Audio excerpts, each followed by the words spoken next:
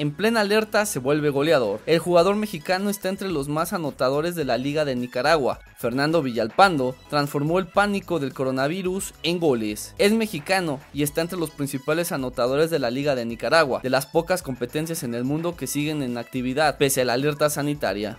Principio, la postura de nosotros fue de incertidumbre, miedo y pánico por las noticias de lo que estaba pasando a nivel mundial. En mí, siendo extranjero y con mi familia en Zacatecas, la incertidumbre era más, dijo Villalpando al Universal Deportes. A pesar de que los clubes nicaragüenses especificaron a sus plantillas las medidas sanitarias a seguir dentro de los entrenamientos y de los partidos, el artillero del Deportivo Walter Ferretti sufrió para dominar la ansiedad ante el COVID-19 y su impacto en América. Me daba mucho temor de que llegara acá el coronavirus y que me contagiara, porque tengo contacto con muchas personas a diario, 25 personas en el equipo. Fue una cuestión complicada de aceptar y asimilar la decisión de la liga. Con el paso del tiempo y los pocos casos en Nicaragua volví a la normalidad. No estamos en una cuarentena estricta, pero sí seguimos las recomendaciones de higiene. Comentó el delantero de 23 años de edad, quien ha llamado mucho la atención en ese país donde se registra una muerte de COVID-19 y los casos de contagio no superan la decena.